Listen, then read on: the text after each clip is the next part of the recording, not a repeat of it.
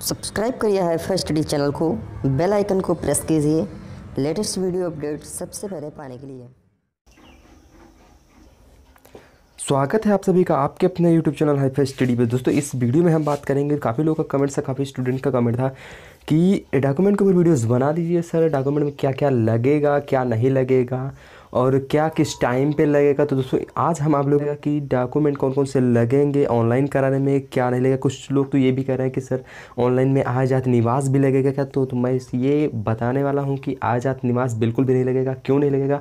Online के समय लगेगा कि ये आजात निवास सिर्फ़ लगेगा तो जब आपकी काउंसलिंग होगी तब ये आजात निवास लगेगा। और दोस्तों एक बात है कि आप लोग अगर काउंसलिंग कराते हैं अगर आपको कॉलेज पसंद नहीं आता तो आप लोग कॉलेज चे चेंज भी कर सकते हैं कॉलेज को। तो दोस्तों, इस वीडियो में आपको अब आगे बताएँगे कि डॉक्यूमेंट ऑनलाइन कराते समय क्या क्या लगेगा। तो चलिए वीडियो स्टार्ट करते हैं। तो दोस्तों, देखिए, यहाँ पर मैंने लिख के रख लिया है क्या क्या होगा। तो सबसे पहले आप लोगों को नॉम फिल करना है फादर नेम फिल करना है और आपको करंट टाइम के 10 फ़ोटो खिंचवा लेना है, ठीक है? दोस्तों 10 फ़ोटो खिंचवा लेना है क्योंकि करंट टाइम में होने चाहिए, ओल्ड फ़ोटोज़ नहीं होने चाहिए। करंट टाइम में हो, ज़्यादा पुराने फ़ोटो ना हो क्योंकि पुराने फ़ोटो माने नहीं होंगे। और दोस्तों, उसके बाद आता है हमारा एड्रेस। तो दोस्तों, आप दोनों address address one address two दोनों सेम भर देना है और उसके बाद क्या करना है D O B date of birth भरना है। वो कैसी होनी चाहिए? हाई स्कूल के मार्कशीट पे जो हो, वो होनी चाहिए। और दोस्तों, एक बात बता दें हाई स्कूल पहले क्या था कि हाई स्कूल का और सर्टिफिकेट नंबर और हाई स्कूल के ये अंक दोनों अलग अलग दो मार्कशीट वगैरह मिलती थी तो अब क्या है कि दोनों सर्टिफिकेट नंबर और दोनों एक ही में लग के आ रहा है तो दोस्तों, क्योंकि सर्टिफिकेट नंबर की भी ज़रूरत पड़ेगी इस टाइम तो दोस्तों, आगे क्या करना है? आगे आपको जर्नल ये कैटेगरी भी चूज़ कर लेना है कि क्या है जर्नल ओबीसी एससी एसटी कुछ भी कैटेगरी हो आप चूज़ कर सकते हैं। उसके बाद सब्जेक्ट क्या है? आपकी आर्ट साइंस है और उसके बाद आते हैं दोस्तों फॉर्म भरने पे, ठीक है? तो फॉर्म कैसे भरा जाएगा? हाई स्कूल में देखिए क्या क्या लगेगा। सबसे पहले आपको हाई स्कूल का ऑप्शन मिलेगा, उसके बाद इंटर का ऑप्शन मिलेगा, उसके बाद ग्रेजुएशन का ऑप्शन मिलेगा। और इसमें बोर्ड का नाम भरना है कि किस बोर्ड से हैं, यूपी बोर्ड से हैं, अगर तो यू अगर सभी लोग यूपी बोर्ड से तो यूपी बोर्ड भरेंगे ही। और विद्यालय का नाम भी भरना है। तो विद्यालय का नाम भरना है कि आपने यूपी बोर्ड से किस विद्यालय से किया है? इंटर किस विद्यालय से किया हाई स्कूल किस विद्यालय से किया है? और ग्रेजुएशन कहाँ से किए हो? अब जैसे यहाँ पर बात आती है बोर्ड का नाम। बोर्ड का नाम जैसे हम रख लेते हैं कि अवध यूनिवर्सिटी से हमने बोर्ड किया ठीक ग्रेजुएशन किया है अवध यूनिवर्सिटी। तो यहाँ पर हम अवध यूनिवर्सिटी डाल देंगे और इसके जस्ट बगल जो ये ऑप्शन आता है, यहाँ पर विद्यालय का नाम तो विद्यालय का नाम आपने किस डिग्री कॉलेज से किया है या फिर डायरेक्ट यूनिवर्सिटी से किया है? तो यहाँ पर वो भर दिया जाएगा और उसके बाद वर्ष उत्तीर्ण, किस वर्ष में आपने उत्तीर्ण किया है हाई स्कूल की परीक्षा को इंटर को और ग्रेजुएशन को? तीनों का वर्ष भर देना है, उसके बाद यहाँ पर बगल में आता है एक ऑप्शन अनुक्रमांक का। दोस्तों, यहाँ पर क्या भरना है? रोल नंबर यहाँ पर भर देना है तीनों का। तीनों का रोल नंबर भरने के बाद क्या होगा? यहाँ पर आगे फिर ऑप्शन मिलेगा आपका अंक प्रमाण पत्र का। यहाँ पे हाई स्कूल का डालना है, उसके बाद इंटर का पत्र क्रमांक, अंक पत्र क्रमांक डालना है, उसके बाद ग्रेजुएशन का भी अंक पत्र क्रमांक डालना है और उनका पूर्णांक लिख देना है, ठीक है? पूर्णांक कितने का था? तीनों में तीनों का पूर्णांक लिखना है, उसके बाद प्राप्तांक के साथ आपको फिल कर देना है और यहाँ पे परसेंटेज भी कि कितना प्रतिशत बन रहा है। ठीक है, कितना प्रतिशत बना। अभी कुछ लोग क्या कमेंट कर रहे थे कि, सर, अभी मार्कशीट आई नहीं है तो हम कैसे फॉर्म भर सकते हैं या फिर नहीं भरते तो दोस्तों, आपको बताना चाहेंगे, जिनका भी मार्कशीट नहीं आया है, वो अपना मार्कशीट इंटरनेट से डाउनलोड कर सकते हैं और जिनको हालाँकि रोल नंबर और बोर्ड का नाम क्रमांक अंक पत्र क्रमांक, ये सब तो पता ही होगा। बोर्ड का नाम, विद्यालय का नाम, वर्ष, उत्तीर्ण अनुक्रमांक कितने पाया नंबर, कितने प्रतिशत नंबर बन रहे हैं, ये सारा का सारा सब कुछ तो पता ही होगा। तो इन्हीं को फिल करना है, बस इसमें ज़्यादा मार्कशीट वार्कशीट की ज़रूरत नहीं पड़ेगी। आगे मार्कशीट आएगी तो आप लोग को काउंसलिंग की ज़रूरत पड़ेगी। मार्कशीट की तो आप लोग क्या कर सकते हैं, फॉर्म को आसानी से भर सकते हैं। आप लोग भरिएगा फॉर्म। और यहाँ पर सबसे मस्ट है कि आधार कार्ड दोस्तों आधार कार्ड सबसे मस्त। अभी कुछ लोग क्या कमेंट कर रहे हैं कि, सर, मैं दिल्ली से हूँ, ये हो, कहाँ से कहाँ से बता रहे हैं? वगैरह वगैरह। तो दोस्तों, यहाँ पर क्या होगा कि अगर आप दिल्ली से हैं और आपका गाँव कहीं यूपी में है, ठीक है? निवास आपका यूपी में है और आपने आधार कार्ड बनवा लिया है कहाँ का?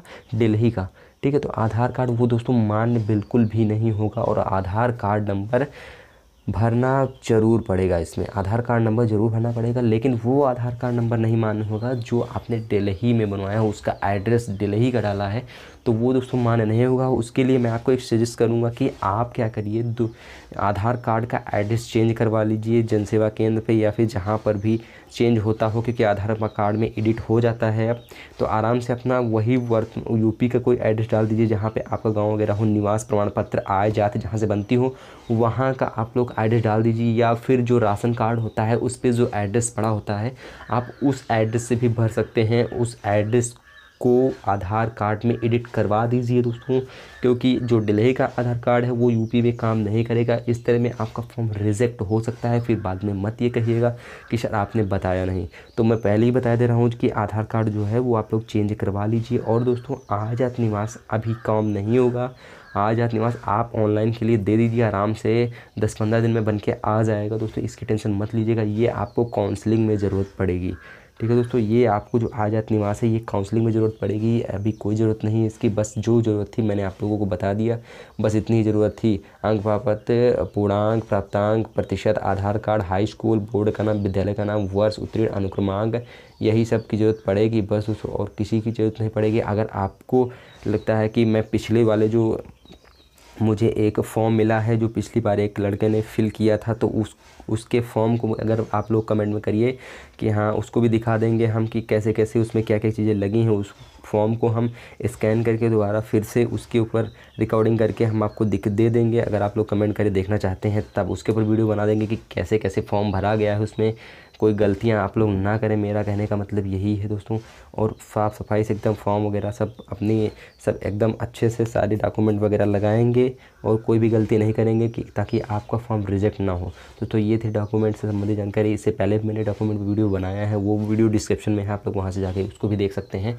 तो अगर ये वीडियो आपको पसंद है, वीडियो को और दोस्तों इसी वीडियो में आप लोगों को कट ऑफ़ भी बता दे रहा हूँ कि कट ऑफ़ कितनी जाएगी कैटेगरी वाइज कट ऑफ़ कितनी जाएगी तो देखिए दोस्तों यहाँ पर क्या है कैटेगरी वाइज का बार यहाँ पर कैटेगरी दी गई है यहाँ पर गवर्नमेंट कॉलेज के लिए कट ऑफ़ और प्राइवेट कॉलेज के लिए कट ऑफ़ दी गई क्योंकि बहुत सारे लोग कमेंट ये भी करा करते हैं कि कट ऑफ़ कितनी जाएगी सर मेरे दोस्तों दो नंबर है कितनी जाएगी कितनी जाएगी तो दोस्तों एक चीज़ वो बता दें कि जो इस कट ऑफ़ है इस कट ऑफ़ से आप नीचे ही चलिए ठीक है ये एब कट ऑफ़ दी गई है ज़्यादा से ज़्यादा कट ऑफ़ दी गई है दो जनरल की तो आप इससे नीचे रखिए आप जनरल की मैक अधिकतम कट ऑफ़ रखिए 225 या 220 दोस्तों, क्योंकि दो लाख से अधिक सीटें दो लाख चालीस हज़ार सीटें लगभग आई हुई हैं तो कट ऑफ़ ज़ाहिर सी बात है कम जाएगी, ठीक है दोस्तों?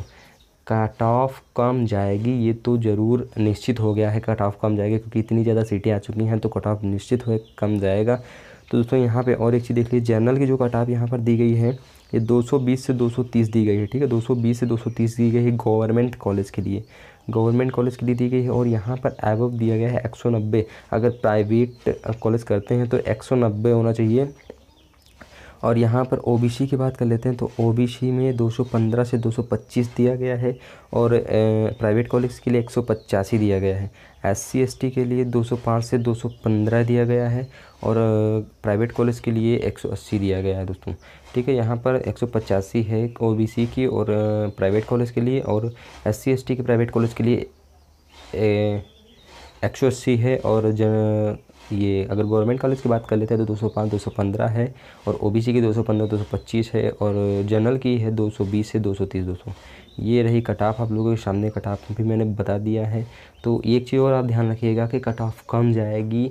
अगर आपके 215 जैसे यहाँ पर ओबीसी का कोई बंदा है और यहाँ पे 215 की जगह, उसके 211 नंबर है। तो वो अपने आप को गवर्नमेंट कॉलेज में सेलेक्ट मानिए, क्योंकि कट ऑफ़ ज़रूर कम जाएगी दोस्तों। ठीक है सिलेक्ट मानिए। अगर 210 नहीं है, तब भी आप लोग सिलेक्ट मानिए अपने आप को, क्योंकि कट ऑफ़ ज़रूर कम जाएगी। दोस्तों, ये थे कट ऑफ़ आप लोगों के साथ शेयर करना था। तो अगर ये वीडियो आपको पसंद आता तो बिल्कुल लाइक ज़रूर कर देना। और चैनल पर नए चैनल को सब्सक्राइब करना बिल्कुल भी मत भूलिएगा। और आप, इसकी रेटिंग आप लोग कमेंट और लाइक के माध्यम से ज़रूर दीजिए कि कैसा वीडियो है, कैसा आप लोगों को पसंद आया या नहीं पसंद है थैंक यू दोस्तों। जय हिंद, जय भारत। मिलते हैं नेक्स्ट वीडियो के साथ।